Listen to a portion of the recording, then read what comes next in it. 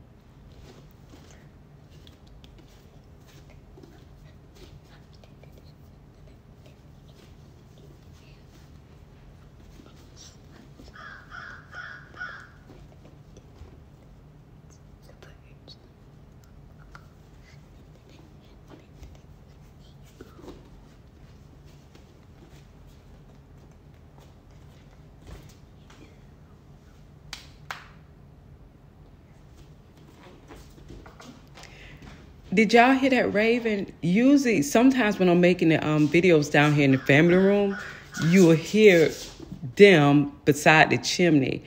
Yesterday, the the rabbits that are usually out here, they weren't out here. There were different ones out here. I feel that those were male rabbits that were out here yesterday. There were like three big chubby ones that I had not seen that type back here. They were trying to fight they were trying to um, fight the the raven. The raven had landed beside the pool per usual, and then the rabbit was behind, what's under the diving board, and was like chasing the raven. But the raven wasn't flying away. It was like, you know, still down landed. So I feel I was like, okay, these must be male rabbits because that's never happened before.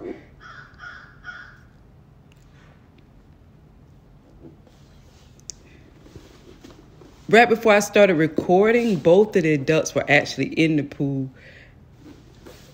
I wanted you all to see both of them out there, but the other one, she that one has jumped out. I don't think that she, it may not go back in there. Let's see. I could put this close out. They may be done for this morning.